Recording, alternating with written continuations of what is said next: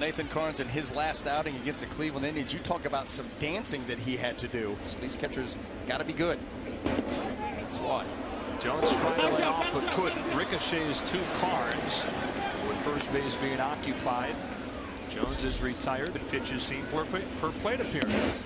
Chases a high fastball. That's the Eddie. To get it in style. Chases one here, strike three. So Karns gets his third punch out of the day. That he's going to get out of a guy on a day in, day out basis, but what kind of performance he will give. Karns gets a couple of strikeouts and then continue to build confidence.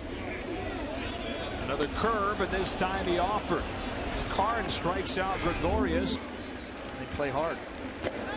And a strikeout, throw to second in time. Strike him out, throw him out, double plays. Casali nails Drew. Two gone. One, two. Curve. He offered. So Karns wins this battle and strikes out A-Rod. Karns comes home 1-2. And Teixeira chases a change, strike three. One out, nobody aboard. Karns' pitch. And there's strike three called. He got him looking. Clipped the outside corner, and Nathan Karns. He strikes out Murphy to begin the seventh.